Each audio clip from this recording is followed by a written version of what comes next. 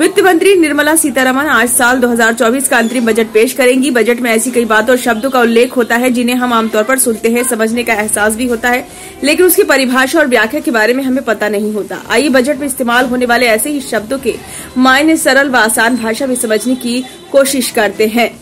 Budget का मतलब पढ़े लिखे आदमी के लिए भी समझना टेढ़ी खीर होता है। बजट शब्द फ्रेंच भाषा के शब्द बॉजेस से बना है। इसका अर्थ होता है छोटा बैग। फ्रेंच भाषा में ये शब्द लैटिन शब्द बुल्गा से लिया गया है। इसका अर्थ है चमड़े का थैला।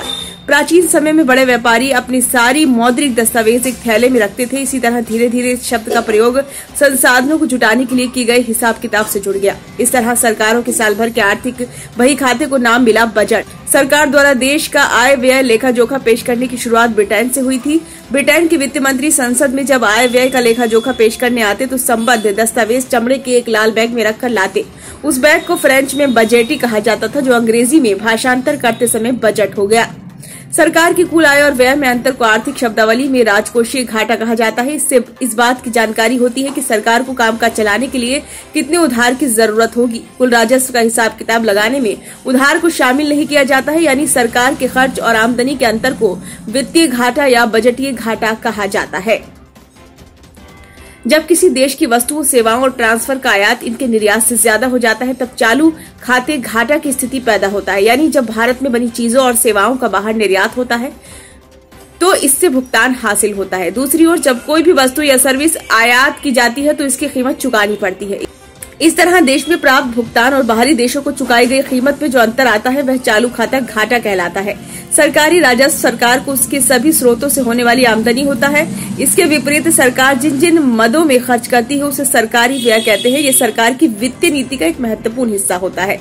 वित्त मंत्री संसद में बजट प्रस्ताव रखते हुए विभिन्न तरह के कर और शुल्क के माध्यम से होने वाली आमदनी और योजनाओं व अन्य तरह के खर्चों का लेखा जोखा पेश करती है। उसे आमतौर पर बजट आकलन कहा जाता है। इस विधेयक के माध्यम से ही आम बजट पेश करते हुए वित्त मंत्री सरकारी आमदनी बढ़ाने के विचार से नए करों आदि का प्रस्ताव करते हैं। इसके साथ ही वित्त विधेयक में मौजूदा कर प्रणाली में किसी तरह का संशोधन आदि को प्रस्तावित किया जाता है। संसद की मंजूरी मिलने के बाद ही इसे लागू किया जाता है। यदि राजस्व प्राप्तियाँ राजस्व खर्च से अधिक हैं तो यह अंतर राजस्व सरप्लस की श्रेणी में होगा। विनियोग विधेयक का सीधा अर्थ यह है कि तमाम तरह के उपायों के बावजूद सरकारी खर्चे पूरे करने के लिए सरकार की कमाई नाकाफी है और सरकार को इस मद के खर्चे पूरे करने के लिए संचित निधि से धन की ज़रूरत है। एक तरह से वित्त मंत्री इस विधेयक के माध्यम से संसद से संचित निधि से धन निकालने की अनुमति मांगते हैं।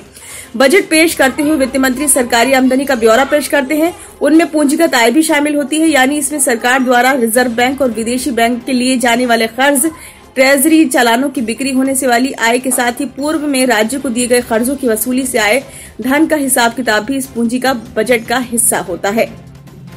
ये बजट में खर्चों की पूर्वानुमान और वास्तविक खर्चों के अंतर का ब्यौरा है। सरकार को किसी तरह की परिसंपत्ति खरीदने के लिए जो भुगतान देना होता है, वह इस श्रेणी में आता है। केंद्र सरकार द्वारा राज्यों, केंद्र शासित प्रदेशों और सार्वजनिक उपक्रमों को मंजूर कर्ज, अग्रिम राशि भी पूंजी खर्च के रूप में जाना जाता है। रिज़र्व बैंक अथवा अन्य एजेंसियों से प्राप्त खर्च ट्रेजरी चालान की बिक्री से होने वाली आमदनी के साथ ही राज्यों, केंद्र शासित प्रदेशों को दिए गए पिछले कर्जों की उगाही और सार्वजनिक उपक्रमों में अपनी हिस्सेदारी बेचने से प्राप्त धन भी इसी श्रेणी में आते हैं।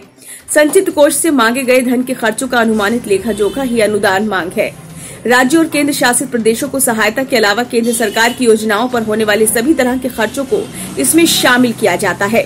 इसमें ब्याज की अदायगी, रक्षा, सब्सिडी, डाक घाटा, पुलिस पेंशन, आर्थिक सेवाएँ, सार्वजनिक उपक्रमों को दिए जाने वाले कर्ज और राज्यों, केंद्र शासित प्रदेशों और विदेशी सरकारों को दिए जाने वाले कर्ज शामिल होते हैं। ब्यूरो रिपोर्ट, नई दिल्ली।